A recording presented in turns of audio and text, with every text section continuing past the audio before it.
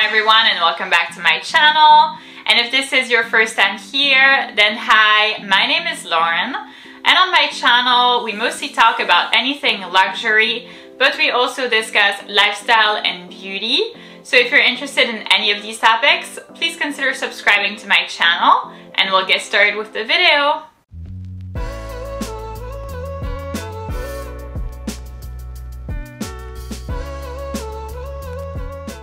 So in today's video, I'm going to be presenting you my best luxury purchases for 2023. So this year I haven't bought that many items um, because I was still doing renovations for my house. I had just gotten my house, then doing renovations. So I didn't have a huge budget um, in terms of luxury purchases, but I was still able to cross a few items off my wish list. So if you're curious to see what my picks are, then please keep on watching. So I didn't really know how to organize this video. I was debating whether I should organize it by category, by brand, but I ended up deciding on doing it by um, chronological order. So we're gonna start with my first, good of course, luxury purchase for 2023 and it's this beautiful VCA Vintage Alhambra uh, 5 motif bracelet that I have in white gold and mother of pearl. So this is um, a bracelet that I wear every single day, um, even when I go to work, even, um, you know, when I like run errands or stay at home or, um, yeah, so basically every day. It's been an amazing purchase. Um, I feel like the price was expensive. It always is, it's VCA. But I can tell you that since I've gotten it like about a year ago now, the durability and the wear and tear is like amazing. So since I wear it every day, um, I was concerned when I first got it that, you know, there was going to be wear and tear, that there would be scratches, that the mother of pearl would kind of fade because I would wash my hands like every so often and that of course, you know, water would get on the bracelet. But really, it hasn't been the case. I mean, quite frankly, this uh, bracelet looks brand new. It looks like I just got it and I got it a year ago and I wear it every day. So I'm very, very satisfied um, with this purchase. I feel like I love the look of it. It looks really nice um, as like a stack with the Cartier Love bracelet. The Cartier Love bracelet is very bland, you know, it's very kind of mm, whatever, like it's, you know, it's like a, like a bangle. Um, but this really dresses up my wrist. I feel like it's very girly, it's very feminine, it's subtle, um, but the people who are, you know, in the known um, know what it is and that's what I appreciate about this bracelet. It's very comfortable as well. Um, it's not something that's going to, I don't know, slip off of your wrist or open itself or anything like that. I actually did have several links uh, removed and I can still um, open and close this bracelet by myself. It's obviously not as easy as the necklace um, that I have, but it's something that I can still do by myself fairly easily. So that's something that I really appreciate about this bracelet. Next up, we have a bag from Dior, and it's a Dior Bobby bag in size medium in color latte. So I'm so proud of myself for getting this bag. I told myself that I would never get a white bag, that it was too dangerous, that I couldn't take care of it properly. And quite frankly, I've been incredibly happy. Um, I was very concerned at first about wearing it. I was concerned that um, if I wore it, I would damage it. I was concerned that therefore I would never take it out, um, but it really hasn't been the case. Um, I'm obviously still very scared of getting color transfer on it, so I never wear it with dark denims or dark fabrics. So far, so good. there hasn't been any color transfer with it, but like I said, I'm super careful. So I tend to wear this with like, I don't know, like a baby blue dress, like a little pink top, like that kind of stuff. Never anything dark because I would be so scared. Um, but I'm very proud of myself for getting this bag and I love the way that it looks. I'm not a huge Dior fan and obviously it seems weird because I have a bag like right behind me, but those are my two, um, only two handbags from Dior and actually only two items from Dior. I don't have anything else um, from that brand. But really, I think that I started getting more and more into it and this handbag has been the best. I love the fact that it's very uh, practical. So it's obviously a crossbody bag The strap is adjustable, which is good for me. Um, if you've been subscribed to my channel for a while, you know by now that I am 5'11 or 180 centimeters, so kind of giraffe size. Um, and so for me, um, you know, crossbody bags are not going to always work for me. I need special crossbody bags for special people like me. Um, so this one is one of them. That's what I like about it. Um, it's very practical. I feel like the bag doesn't look bulky. Um, it looks kind of thin. It looks small but um, you can actually fit quite a bit in it. Um, it's not, you know, like a bag bag. It's not going to be a tote bag, of course not but it's still roomy enough that you can fit a little bit more than your essentials, which I like, especially for a day bag. This is a bag that I would wear, you know, on a day out and about in the city, if you're going to brunch with your friends, like that type of stuff. So, you know, I need a little bit more than just like my card holder and my car key. I need like a little sunscreen, maybe like a, a, lipstick, you know, like something like that, like sunglasses that I could put um, in there if I'm going inside or whatever, or if it starts to rain, um, like here in DC, every time, like literally every time in the summer. But um, yes, so this bag is insanely practical. The price was still very reasonable, um, given the fact that it was a Dior bag, I think. Um, you know, I didn't feel like it was uh, robbing me of money sometimes now for Chanel bags, I'm like, this price has become absolutely ridiculous. Um, but this was still fairly reasonable, so definitely one of my best luxury purchases of 2023. The next best luxury purchase of 2023 has been this um, necklace that I'm wearing right now. It's the VCA Vintage Alhambra 10 motif necklace.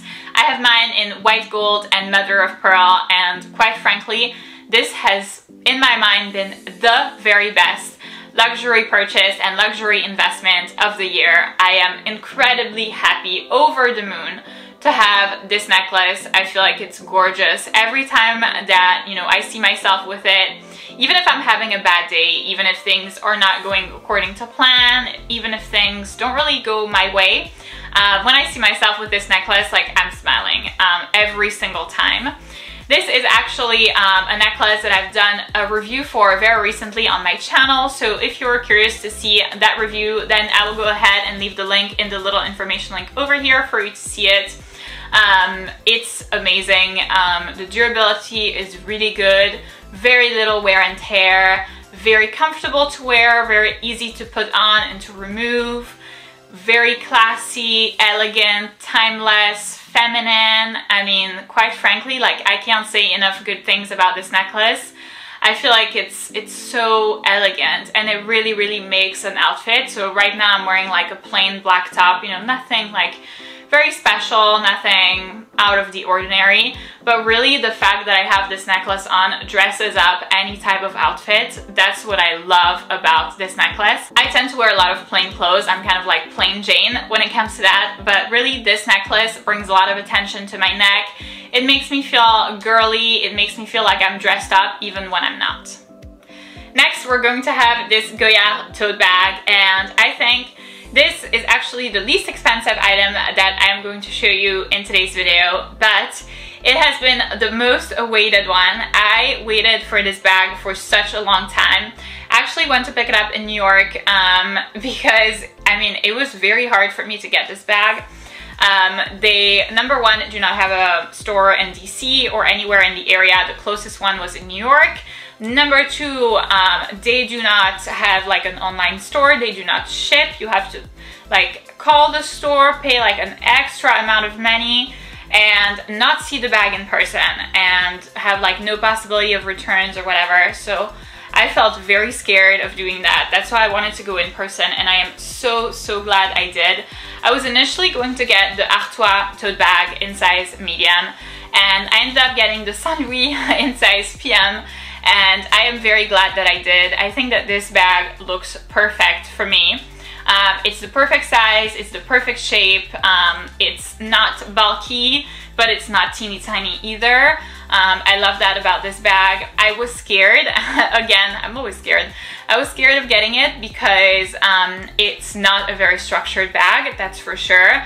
And I don't know, in my mind, like I love structured bag. I love a good structured bag. This is kind of like um, uh, first mistake I think that I've made when I first started building my luxury bag collection was to get slouchy bags. Um, and I ended up, you know, having to sell them. By the way, this is one of the mistakes that I did mention in my video titled Mistakes that I've made when I started my luxury bag collection. So if you're curious to see other Lauren mistakes, then I will go ahead and leave the link to that video in the little information link over here for you to see it. But yeah, I mean, I was so concerned. It took me like four months to get this bag, but in the end, I am so glad. Um, it's very carefree. It's very like Parisian chic. I love this vibe. It's perfect for me. Um, it's, it's really, you know, everything that I was hoping for in a handbag plus some. Um, I was looking to replace, um, not maybe fully replace, but but replace like 80% um, my everyday bag, which was a Yves Saint Laurent East West tote in black. This is still a bag that I do have in my bag collection and that I take to work. I feel like to work, it's fine. It's a bag that I've had for three years that has uh, the handles are getting like damaged, um, the corners are starting to wear off, um, but that is fine for me for a work bag because you know, I mean, who's gonna like look at your bag at work? I'm a preschool teacher, so I don't think that like my little five-year-olds are going to be, you know, extremely invested in what kind of bag I'm wearing. Um, but this is a very good errand bag, so whenever I have like errands to run um, and I don't want to take out my Laurent one, this is my go-to and it's been really one of the best purchases this year. And lastly, the last great luxury purchase that I've made this year have been these beautiful earrings from VCA. They are the VCA Vintage Alhambra earrings and I have them again in mother of pearl and white gold. So this definitely matches my set. I have the bracelet, I have the earrings, and then I have the necklace. So in my mind, this was the perfect piece to complete my trio. I went back and forth in the store for a very, very long time in between these and then the size um, Sweet, so which is like one size down. I felt like these were a little big for me. I mean, I'm tall, um, definitely, but I'm like skinny or thin. So I went back and forth for a long time. I felt like Sweet would look a little bit too babyish on me, too much like I don't know, like a little girl, like not very adulty. Um, but then these I felt like would be maybe a little too big, but I am so, so glad I got them. I feel like looking back, they really are the perfect size. They are extremely comfortable. So these are actually not my first pair of um, VCA earrings. I have exactly the same ones, but in yellow gold and onyx.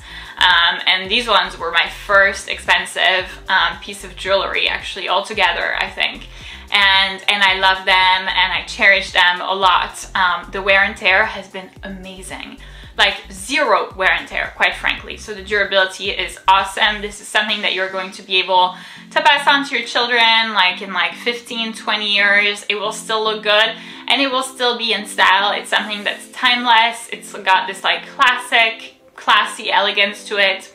That's what I like about these earrings. They're extremely comfortable. Um, quite frankly, like I forget that I have them on all the time. Uh, they're easy to put on, they're easy to remove, you don't have to like damage your nails. I either have gel or press-ons. Um, and so for me, that's kind of a big factor um, of how I decide to buy earrings. I don't want to have to like, you know, really go in there and kind of dig and try for a long time. I don't have a lot of time and I don't want to damage my nails and the sweet ones were definitely a lot more difficult to put on. I had to have my SA help me. Even then, you know, it wasn't easy. So definitely a good choice. I love this size and I love the look of them. So that's it for this video, guys. Thank you so much for watching. I hope that this video gave you inspiration on what to buy on um, things that I love, that I feel like were a necessity, that I feel like are a huge part of my favorite, of what I like right now. These pieces are on rotation constantly. Um, I wear them a lot, I take them out a lot, so they're definitely things that I appreciate to have in my collection. If you did enjoy this video, please give it a big thumbs up, subscribe, and I'll see you in my next one.